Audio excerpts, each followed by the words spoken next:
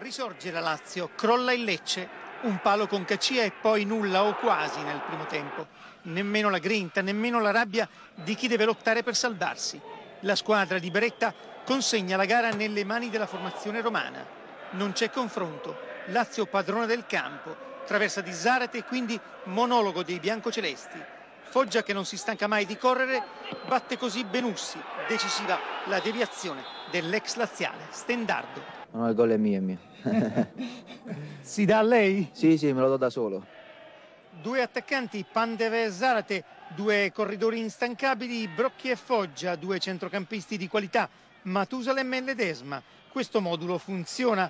La rete annullata a Pandev per fuorigioco tiene in piedi una partita che il Lecce stenta a giocare. Il palo di Tiribocchi, il secondo per i Salentini, non giustifica l'anonima scialba prova. Ancora Lazio, scambi di sinvolti e conclusioni a rete. Beretta osserva, è triste, preoccupato. Il Lecce oggi non ha offerto sicuramente una, una buona, una buona prestazione, mm, dobbiamo analizzarle e vedere come mai non, eh, non siamo riusciti a fare una buona partita, anche perché vediamo comunque da, da prestazioni eh, positive. Il Lecce è come un pugile che aspetta il colpo del KO, non ha la forza per reagire, non ha idee.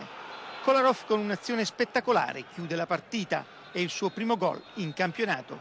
Per la Lazio che torna alla vittoria dopo sei giornate, la crisi è finita? Io non penso che una partita vinta una partita persa possa far pensare a una crisi o un momento particolare. È chiaro che i risultati ti danno grande autostima, soprattutto però dipende dal gioco, da come vengono questi risultati. Rocchi per Zarate è uno dei cambi della gara. Per la prima volta in questa stagione la squadra di Rossi non subisce reti in trasferta. I numeri dicono anche che il Lecce in casa non vince da ben 5 mesi ed ha una delle peggiori difese del campionato. Cifre allarmanti.